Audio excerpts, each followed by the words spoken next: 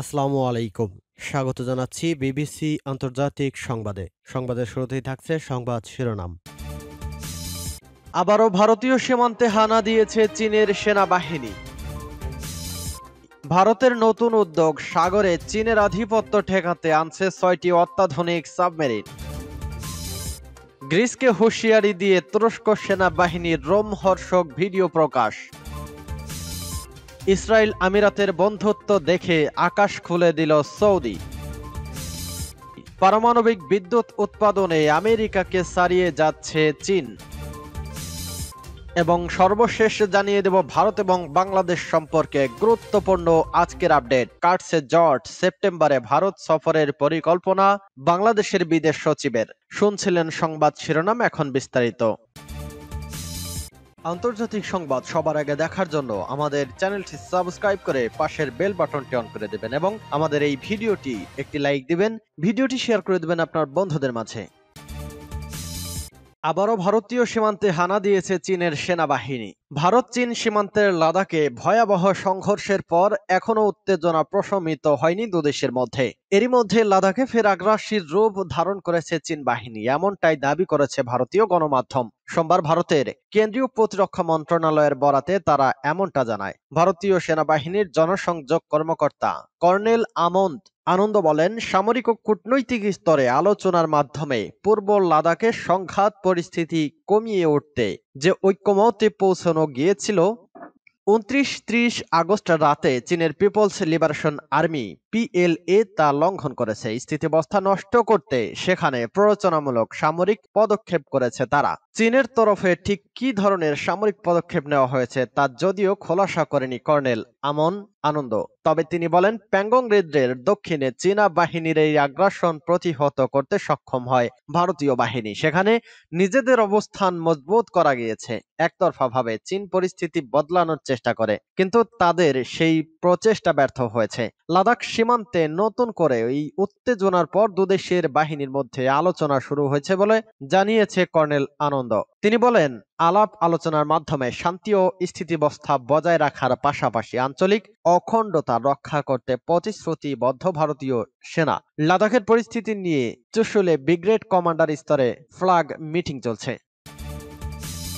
ভারতের নতুন উদ্যোগ সাগরে চীনের আধিপত্য ঠেকাতে আনছে ছয়টি অত্যাধুনিক সাবমেরিন। ভারত, চীন চরম যুদ্ধের উত্তেজনা। এরই মধ্যে নতুন সংবাদ, উনত্রিশ ত্রিশ আগস্টের রাতে পিপলস লিবারেশন আর্মি ভারতে হামলা চালিয়েছে। এই হামলার প্রেক্ষাপটে চীনকে কার্যত হুঁশিয়ারি দিয়ে এবার ছয়টি অত্যাধুনিক সাবমেরিন কেনার প্রক্রিয়া শুরু করতে চলেছে ভারত। আগামী মাসের মধ্যেই নিলামের সব কাজ শেষ করতে চাইছে মোদী সরকার। জানা গেছে, এর জন্য বরাদ্দ করা হয়েছে পঞ্চান্ন হাজার কোটি টাকা। মূলত দক্ষিণ চীন সাগরে চীনের আধিপত্য বিস্তারের খেলা রুখতেই ভারতীয় নৌবাহিনীতে যোগ হতে চলেছে এই ছয়টি সাবমেরিন। রোববার এক সরকারি সূত্র জানায়, পার্টনারশিপ মডেলে ভারতেই তৈরি হবে এই সাবমেরিনগুলো। আমদানির পরিমাণ কমিয়ে দেশকে স্বনির্ভর হওয়ার ডাক দিয়েছে দেশটির প্রধানমন্ত্রী নরেন্দ্র মোদী। সেই পথেই হেঁটে দেশে তৈরি অত্যাধুনিক সাবমেরিন কিনবে ভারত। এজন্য ইচ্ছুক সংস্থাগুলোকে আহ্বান জানানো হয়েছে।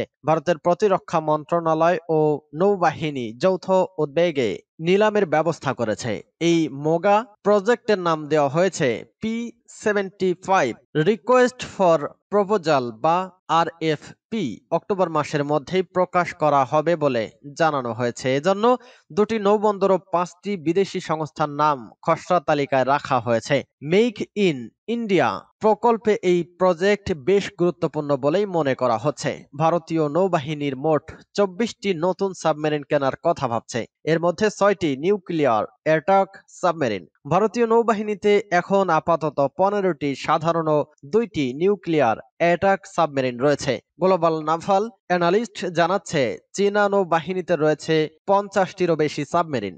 যুদ্ধ জাহাজ রয়েছে প্রায় তিনশো পঞ্চাশটি।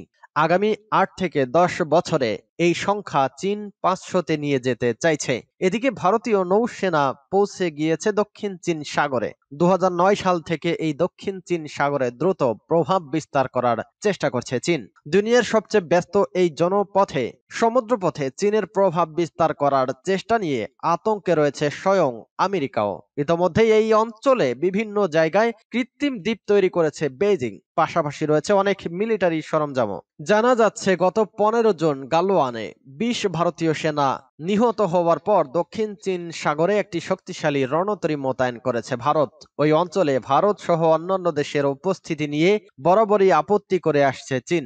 ভারত চীন বৈঠকেই এই বিষয়ে অভিযোগ জানিয়েছে চীন। তাই শত্রুপক্ষকে মুখের ওপর জবাব দিয়েই যুদ্ধ জাহাজ পাঠিয়েছে ভারত।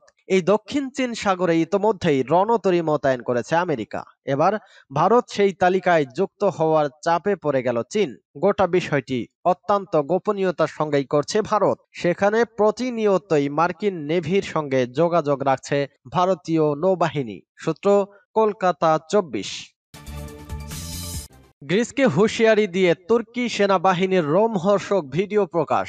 তুরস্কের আটানব্বইতম বিজয় দিবস উপলক্ষে একটি রোমহর্ষক ভিডিও প্রকাশ করেছে তুরস্কের সেনাবাহিনী। প্রকাশিত সেই ভিডিওতে তুর্কি সেনাদের অস্ত্রসহ সামরিক মহড়া চালাতে দেখা যায়। তুর্কি বার্তা সংস্থা আনাদলু এজেন্সি জানায়, ইউরোপের দেশ তুরস্কের সেনাবাহিনী এবার মূলত প্রতিবেশী গ্রিসকে টার্গেট করেই এই ভিডিওটি বানিয়েছে।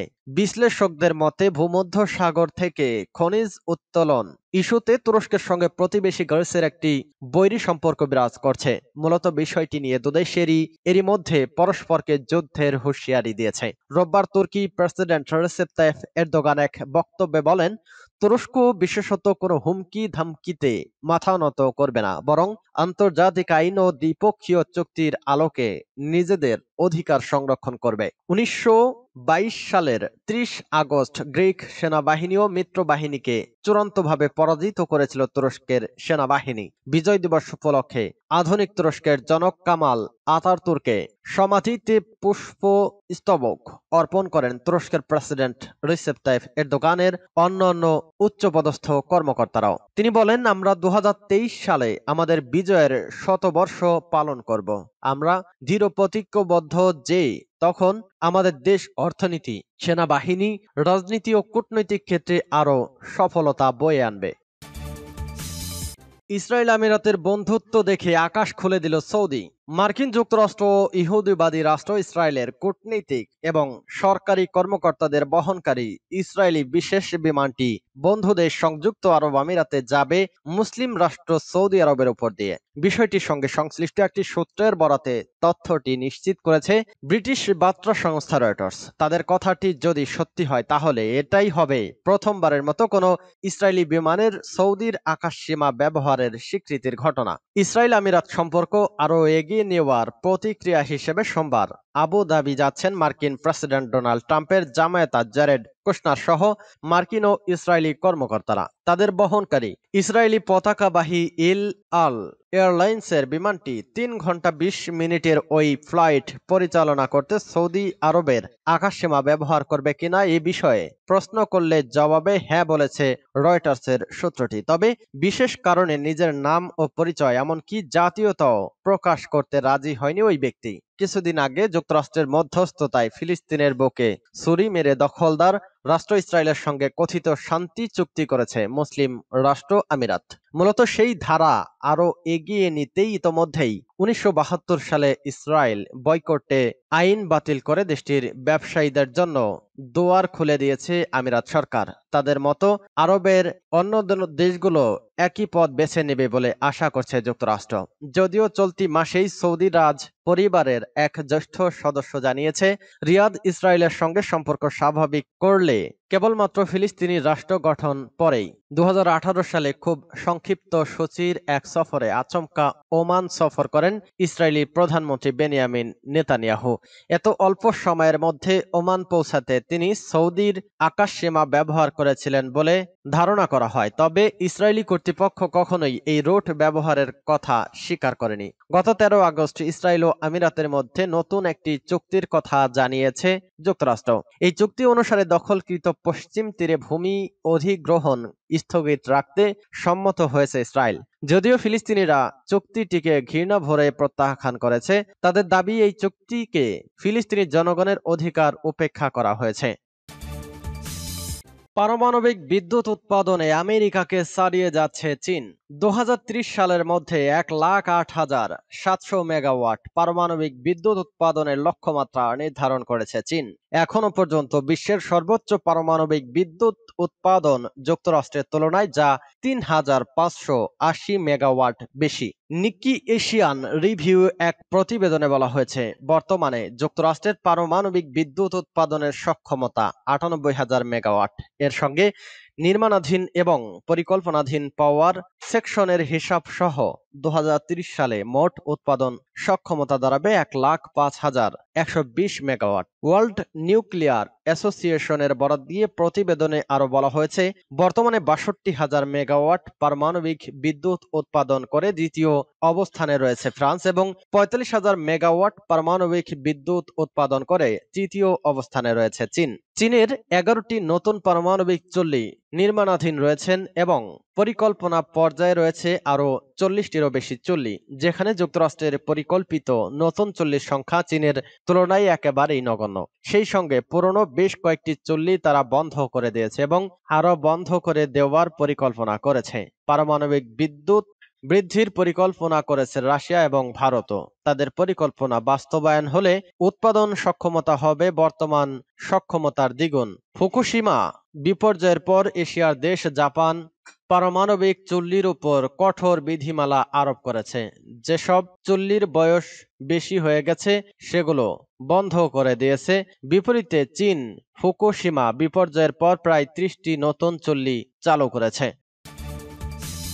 কাটসে জট সেপ্টেম্বরে ভারত সফরের পরিকল্পনা বাংলাদেশের বিদেশ সচিবের। সম্পর্কে ফাটলের জল্পনা উড়িয়ে আগামী মাসেই ভারত সফরে যেতে পারেন বাংলাদেশের বিদেশ সচিব মাসুদ বিন মোমেন। ঢাকা ও নয়াদিল্লির কূটনৈতিক সূত্র এই খবর জানা গিয়েছে। নাম প্রকাশে অনিচ্ছুক বাংলাদেশের হাই কমিশনের এক আধিকারিক জানিয়েছেন, ভারতের বিদেশ সচিব হর্ষবর্ধন সিংলা আঠারো থেকে উনিশ আগস্ট ঢাকা সফর করেন। এ সময় তিনি বাংলাদেশের বিদেশ সচিবকে ভারত সফরের আমন্ত্রণ জানান। এরই ধারাবাহিকতায় বাংলাদেশের বিদেশ সচিব ভারত সফর করবেন। তবে মাসুদ বিন মোমেনের নয়াদিল্লি সফরের দিনক্ষণ এখনও চূড়ান্ত হয়নি। সেপ্টেম্বরের মাঝামাঝি সফরটি হতে পারে বলে মনে করা হচ্ছে। নয়াদিল্লির বাংলাদেশ হাই কমিশন সূত্রের তথ্য সমর্থন করেন ঢাকায় বাংলাদেশের বিদেশ মন্ত্রকের এক আধিকারিক তিনি জানিয়েছেন, তারিখ চূড়ান্ত না হলেও মাসুদ বিন মোমেন নয়াদিল্লি সফরের প্রস্তুতি চলছে। করোনা আবহের মধ্যে বিগত কয়েক মাস ধরে ভারত বাংলাদেশ সম্পর্কের ফাটল তৈরি জোর জল্পনা চলছিল। অভিযোগ ওঠে, বরাবর আবেদন সত্ত্বেও বাংলাদেশের ভারতের রাষ্ট্রদূত রিভা গাঙ্গুলির সঙ্গে দেখা করেনি প্রধানমন্ত্রী শেখ হাসিনা, বিশেষ করে তিস্তা প্রকল্পে ঢাকাকে চীন অনুমোদন, অনুদান দেওয়ার পর থেকেই নয়াদিল্লি কূটনৈতিক মহলে শুরু হয় তোলপার তারপরই এহেন জল্পনার পটভূমিতে আঠারো আগস্ট হঠাৎ সফরে ঢাকায় আসেন ভারতের বিদেশ সচিব। হর্ষবর্ধন সিংলা দুদেশের সম্পর্ক উন্নয়নে দুই দিনের সফরে বাংলাদেশের ঢাকা ঘুরে যান। করোনা সংক্রমণের পর্বে দুদেশের সহযোগিতা জোরদার করার বিষয়ে তারা দেশের বিভিন্ন প্রস্তাব নিয়ে তিনি প্রধানমন্ত্রী শেখ হাসিনার সঙ্গে কথা বলেন। এছাড়া তিনি বাংলাদেশের বিদেশ সচিব মাসুদ বিন মোমেনের সঙ্গে মধ্যাহ্নভোজে সভায় দুদেশের সম্পর্কে নানান বিষয়ে আলোচনা করেন।